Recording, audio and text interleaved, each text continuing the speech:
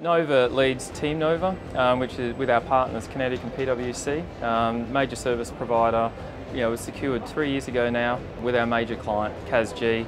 It's a five-year initial contract going out to 11 years, and you know, the length of that really allows a true strategic partnership with our most important clients. I can remember years ago when I was a subcontract manager, we had about 50 on the books and probably about 40 engaged. We've now just reached our 300th subcontractor and I think engaged over 330 actual individuals.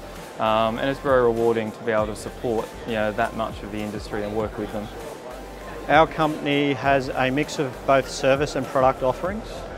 At the moment, uh, the servicings are in T&E and systems engineering related to UAVs.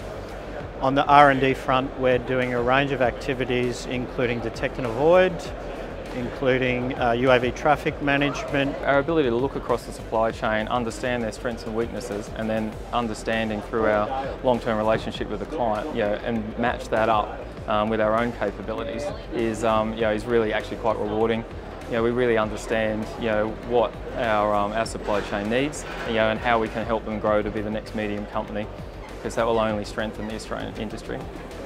We can really support clients anywhere in Australia um, and we can draw the best of what Australia has to offer by um, having you know, a subcontract network around the country.